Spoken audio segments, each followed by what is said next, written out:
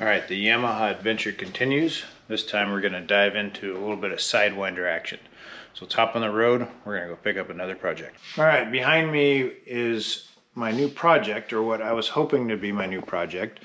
Um, it is a Vans RV9 with a Yamaha Sidewinder engine on it. This is Teal Jenkins' former airplane. Um, it does have a little bit of history that goes along with it. So complete redesign of the firewall forward over the last two years because he did experience an in-flight fire. And that happened basically because this fuel rail up here there's a bolt right here and a bolt right here.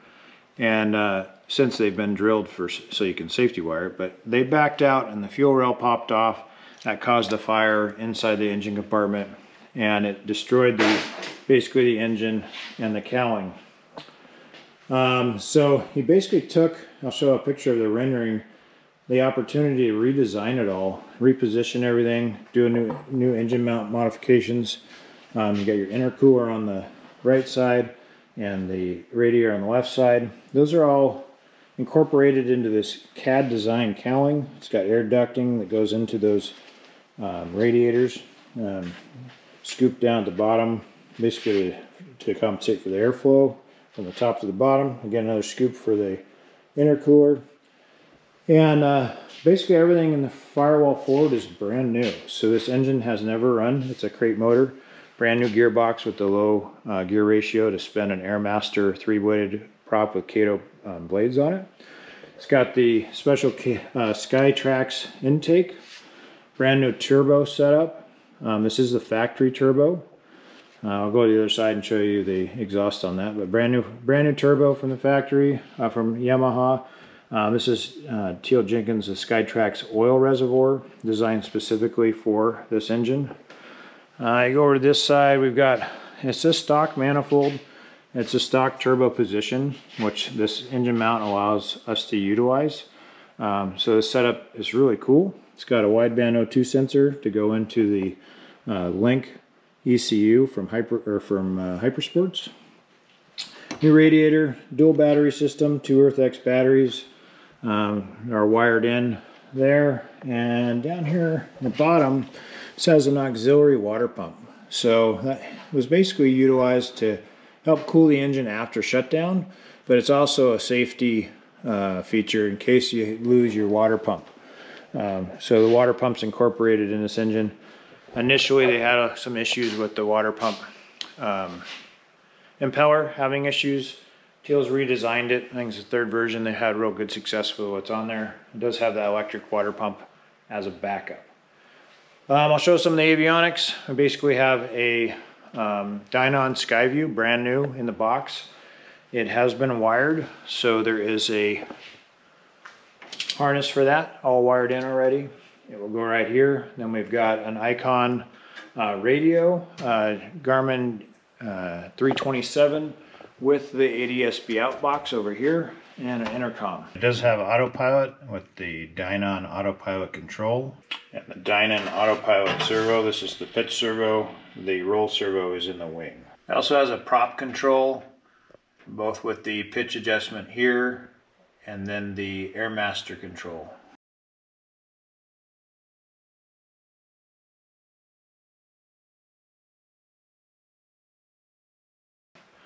On the other side, let me come around the other side. You can see the wiring. I've just been going through it, kind of labeling what everything is. But you, over here you've got your uh, Hypersports Link ECU, um, an AEM 22 channel CAN bus for sensors that takes sensors from everywhere. You've got gearbox temperature, you've got water temperature, oil pressure, all kinds of sensors all over this engine to monitor things. Um, down into the fuse section here, uh, there's a couple additional units to the engine uh, monitoring. There's a another 12 channel um, CAN input, uh, input here. Um, I've got a couple other boxes for the links, the CAN lambda sensor, and I'm not quite sure what this one, I think it's an atmospheric um, one that comes with the engine right there. So that's basically your, your setup firewall forward. I don't know if I touched on too much on this cowling. This was designed in, in CAD. Um, Teal then took that CAD file, sent it to a company down in uh, Southern California that CNC'd a foam plug and then made this cowling out of carbon fiber. It is awesome. It looks really cool. I'll show a picture of it with it on the on the airframe. Right behind that, you see this piece of aluminum. That is the top piece that goes up here once you're done with the wiring. There is, um, that's the windshield that was on it, or the, the canopy. It's toast, so over in that crate is a brand new canopy to go on it. This rear skin um, had some imperfections in it, so I removed that and the replacement I have also um, to go on that. Now, uh, the wings are down at my hangar. Um, they're in good shape. The tail's also down at my hangar, also in good shape, removed for transportation. Um, got extra set of tires for everything. Um, really, everything you need to fly it is here. So, or to reassemble it and fly it is here. The reason I'm putting it up for sale is uh, when I decided to take on the project, I had a time frame and a certain amount of time to spend on it. And I have kind of taken a good look at everything that needs to be done. And I was pretty happy with what was needed to put it all back together to go flying. Then I removed this rear skin to get ready to replace that. And prior to Teal purchasing this aircraft, it was involved in an incident where it reared off the runway and it flipped over. Um, that was in 2020. Uh, they replaced the vertical and put brand new wings on it. So the wings have very low time on it. They also replaced the cowling, but the cowling has since been removed for the new one. Um, I believe that in that incident, there was some damage that wasn't addressed, and that's what I found. So, I like to be full disclosure. So this is the baggage compartment here. This is the section behind the baggage compartment. And this is also where the forward half fuselage is joined to the back half of the fuselage with this seam right here. So there's a double rivet row right here. You got thicker gauge aluminum, goes thinner right here. So this seam right here is um, you know, I don't know historically if there's been any issues with vans dealing with this, but I believe when it went over on its back, it took kind of a compression impact right there. You can see kind of this discoloration right here where they, looks like they maybe sanded it, but if you get down in here, I'll show some close-ups, but there's a slight crack right here, and then this longeron is actually formed into this bottom skin right here. And at the very end of this, it's not connected to the bulkhead. That That's the way it's designed. But right at the end of that, there's a little bit of a crack right there. And it's the same thing on the other side, of the crack in that spot. And then these little teeny cracks in this um, piece right here. Problem with that is it's the bottom skin and the side skins. So, and it's on a seam. Um, the other spot that I noticed right here underneath the, the bell crank.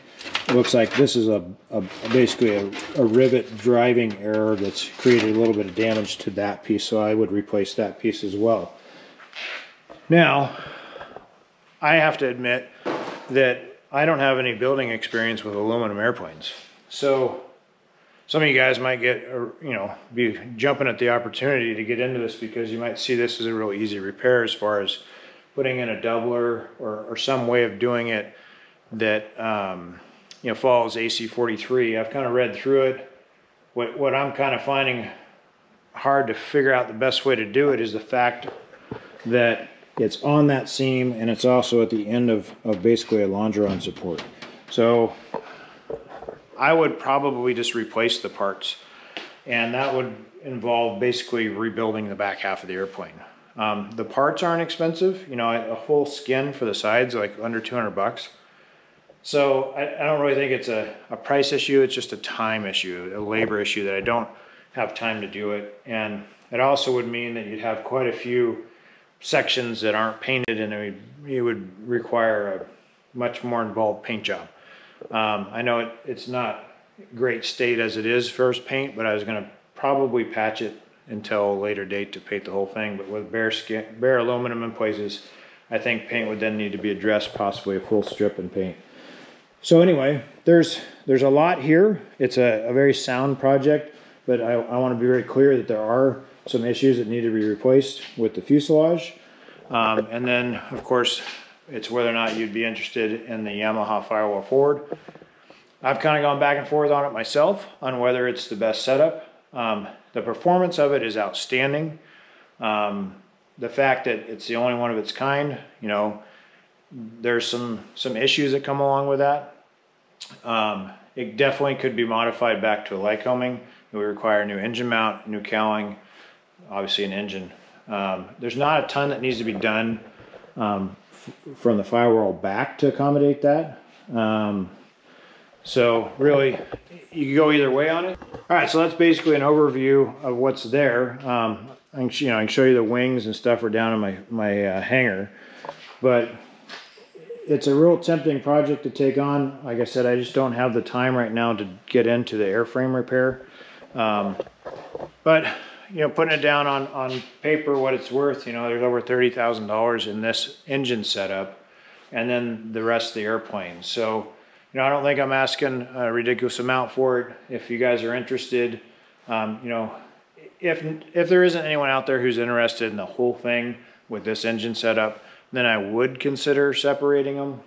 Um, and you guys can contact me about that. I'm not going to do that right away because I like to give the opportunity to someone who will see this through and see it fly this way because I think it's really cool that Teal's done all this work. Um, but if, if there's not a taker out there, then, you know, I would sell the airframe part from the firewall forward. And if anyone's just interested in the firewall forward, you know, then we can look at that at, at uh, uh, a later date, I guess. So anyway, that's the Vans RV9 project that I have for sale. Uh, just give me a call if you guys are interested and uh, be happy to talk to you about it.